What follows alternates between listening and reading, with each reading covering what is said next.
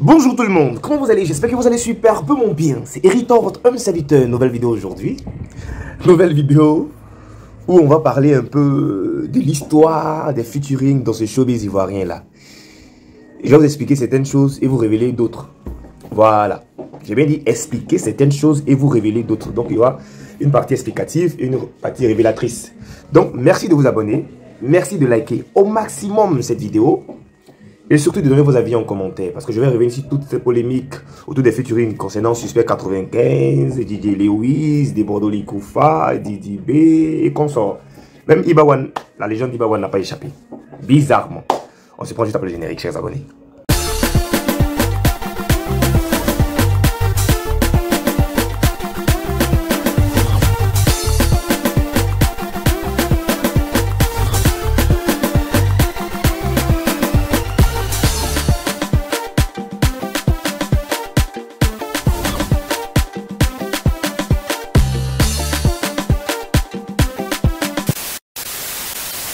Bon retour chers abonnés, bon retour, j'espère que vous allez bien, très bonne et heureuse année encore à tous mes abonnés.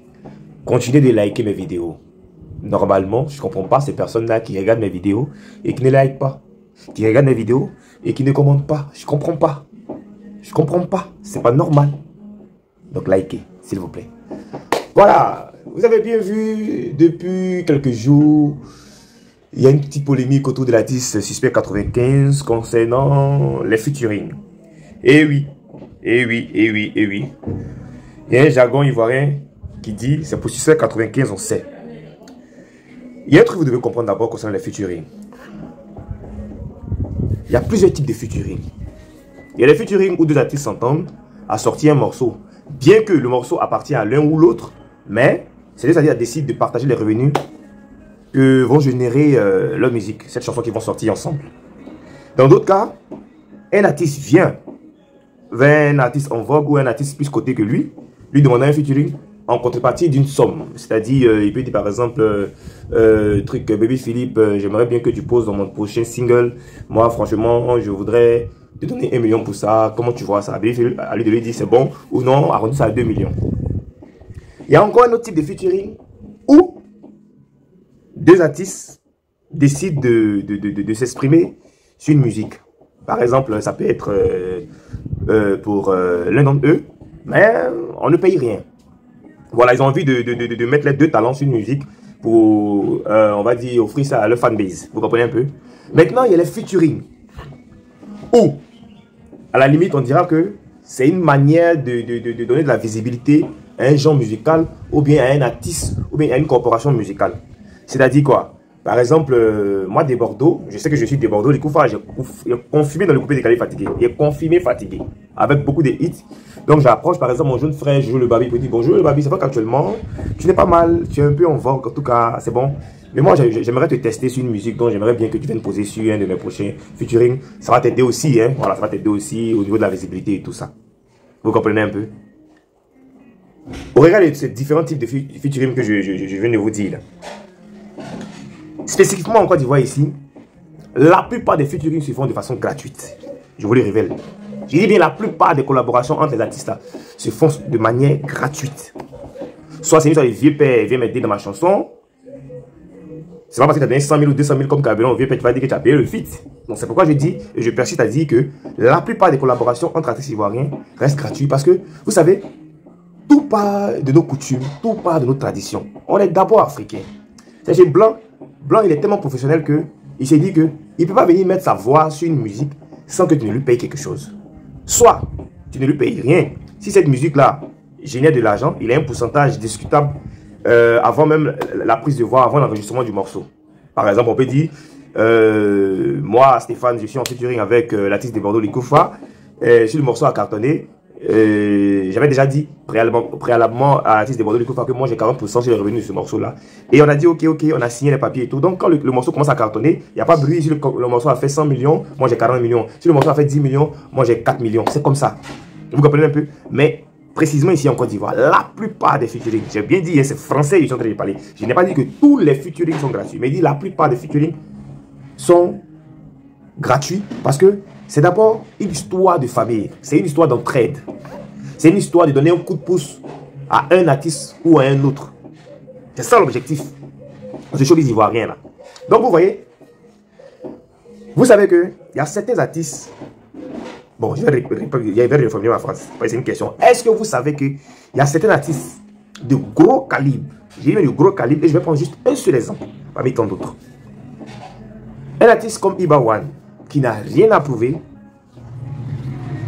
qui est très populaire que beaucoup d'artistes ivoiriens, qui a beaucoup d'argent que beaucoup d'artistes ivoiriens, qui, est, qui, a une très vieille carrière que beaucoup d'artistes ivoiriens, a tenté à plusieurs reprises auprès de certains jeunes artistes ivoiriens de faire un featuring. Mais vous serez étonné. Je ne sais pas qui conseille nos artistes là, mais franchement, je comprends la phrase qui dit il faut laisser pauvre réussir, tu vas voir son vrai visage. Moi, je vous dis la vérité, hein. J'ai qu'à être Didibé. J'ai qu'à être suspect 95. J'ai qu'à être euh, qui tu veux. Surtout de la nouvelle génération là. Les jeunes, les enfants là. Si un artiste comme Iba One me demande un featuring, d'abord, un, pour moi, c'est un honneur. Écoutez-moi bien, il dit bien. D'abord, un, pour moi, c'est un honneur. Et deux, je sais que ça va me profiter largement. Faire un featuring avec Iba One, je vous dis, je vous rassure, c'est une garantie. En tout cas, si tu fais le featuring avec Iba One, que tu as bien communiqué, que le, le featuring a cartonné, ça a marché, c'est une garantie pour faire salle comble dans toutes les salles du Mali. Parce que Iba One au Mali, quand lui, il appelle ses fans à se déplacer pour aller au concert d'un artiste ou bien d'un de ses amis, c'est toujours ça le comble. Parce que c'est l'un des artistes maliens les plus influents. Je dis bien l'un des artistes maliens les plus influents au Mali. Très influents, vous n'imaginez pas. Les stades au Mali, il en fait beaucoup. Les stades à Lassé, il en fait beaucoup. Au-delà même des frontières maliennes, il en fait beaucoup. Mais, choqué, je suis souvent stupéfait de voir que certaines nouvelles stars, moi c'est comme ça que je les appelle, hein. voilà, ça ne veut pas dire que je ne respecte pas nos stars, mais certaines nouvelles stars, comme elles sont un peu cotées, comme elles sont un peu en vogue, se permettre d'envoyer balader des légendes comme Ibawan, de refuser des featuring à des légendes comme Ibawan.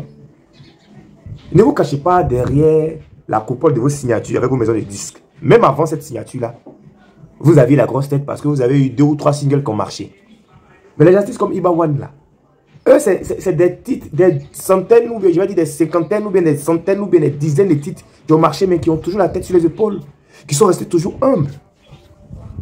Souvent, là, avant de refuser des featuring, il faut réfléchir d'abord.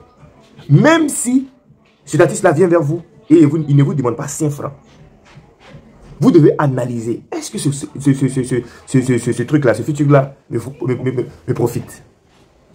Bon, il ne veut pas me donner de l'argent, mais j'ai fait un featuring avec lui. Bon, c'est une visibilité du côté du Mali. Ça va m'arranger quelque part. C'est pas mal. C'est comme ça qu'on calcule. Mais bon, nos artistes ici, là, malheureusement, hein, je vous dis, malheureusement, ils regardent les petites cotes, les petits succès, et ils prennent la grosse tête. Oh, Mali, les collaborations, c'est comme euh, bonjour. On n'a pas besoin de payer 5 francs quelqu'un. Lui, là, c'est mon gars, je vais vers lui, je fais un featuring.